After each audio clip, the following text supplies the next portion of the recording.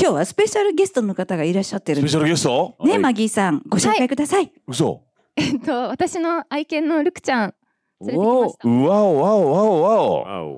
かわいい。ちょっとかわいいなおいいや、いい子、ルクちゃん。うわいや、いい子、本当に。まったく可愛い人に飼われたよな。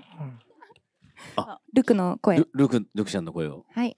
愛犬のチワックスの10歳のルクちゃんです。いやー、めっちゃ可愛いじゃん。子。チワックスってことはチワワとミニチュアダックスです。え可愛いっすー、ねすごい。ルクちゃんは、もし喋るとしたらどんな感じなんですかね？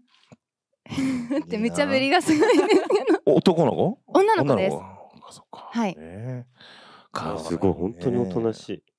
この世で多分トップ3に入るぐらいおとなしい子です。うん、おとなしいですね。はい。本当めなんかめあ、ねちゃんとああ、かわい可愛いカメラマンさんのちゃんと要望に応えてね、い。ね。上手から下手をちゃんと 舐めるように。本当に分かってますね。分かってますね。メディア慣れしてる。うわそう。あーもう。すごいですあらららおいおいおいおい。ボデいいィクリーム塗なその席。